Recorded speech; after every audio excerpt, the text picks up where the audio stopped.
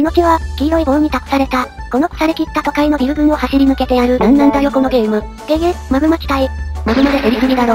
赤いギザギザやばい。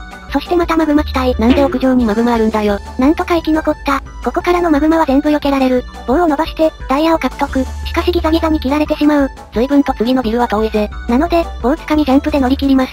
これ棒短かったら終わってたな。そしてまたマグマ地帯。これ、いける？超ギリギリじゃねえか。そしてまたマグマ。棒の量が不安だぜ。マグマ1マスのヘリおかしすぎる。ここもなんとか。そしてこれは。よし、あとはゴールしてボーナスゾーンのみ。こっからはより遠くの着地を目指します。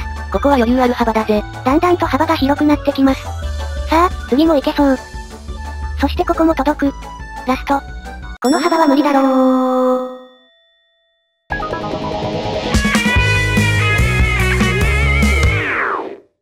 今回は暴動のレールガンというスマホゲーム。いやレールガンだよ。心に刻んだ夢放たないからな。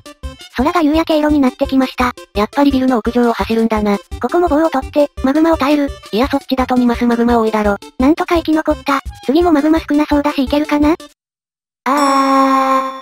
今のはルートが間違ってたぜ。このゲーム、思ったよりガバガバじゃないのかも。ここ左じゃないと次のマグマ通過できないもんな。かなり残ったので、これなら大丈夫。ごっそり取られるから油断できないぜ。やべ、取り損ねた。下に赤いギザギザあるが、無視して大ジャンプゾーン。黄色い棒もっと欲しいですね。でも幅固定ギザギザあるから変わらないぜ。ここで棒のサイズを強制カット。さあ、こっからが勝負です。全部取れれば一番奥まで飛べるかもな。っておい、ギザギザ迫ってきてるぜ。やっちまったー。ああ、これはもう追加の棒がなさそうです。迫り来るギザギザぐらい避けないとな。ジャンプゾーンを抜けると、またボーナスゾーン。でもこの幅だと。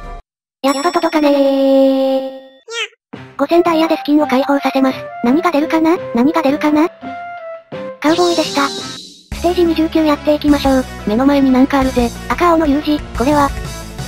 磁石のようですね。何もしなくても棒が集まってきます。めちゃくちゃ便利なアイテムだぜ。相当幅広くなってきました。しかし、中央にギザギザ、ごっそり削られるぜ。そして次の移動してるギザギザは、サイドから通過していきますか。このタイミングならしょうがないぜ。今度のギザギザは、真ん中のが良さそう。今回、あんま棒を確保できてないぜ。そろそろゴールが見えそうなんですけどね。もう見えちまったぜ。おっと、ゴール前にちょい長い棒発見。これをゲットすれば、めっちゃ長くなった。これならボーナスゾーンラストまでいけるぜ。